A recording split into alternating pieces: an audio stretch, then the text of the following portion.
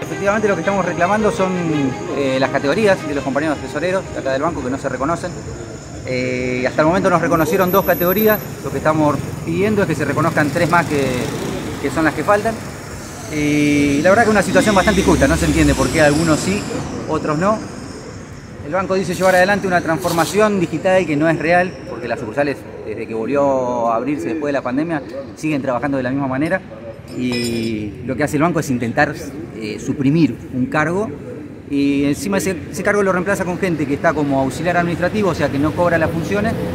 Y, nada, a través de esta situación injusta es que estamos, estamos en esta instancia de reclamos, estamos realizando asambleas en, en las distintas sucursales. Lo que hacemos es le vamos transmitiendo a los compañeros en la instancia en la que estamos, la respuesta que tenemos del banco que es casi nula, la verdad que no,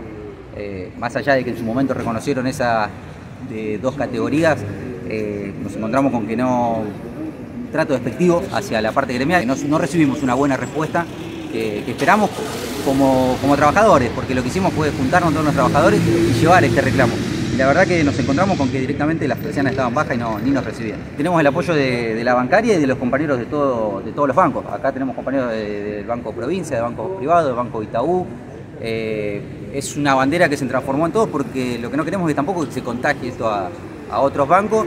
y frenar esta, o sea, esta forma de, manejarse de las patronales de los bancos en donde suprimen, además de que suprimen personal, porque en el último transcurso de los dos años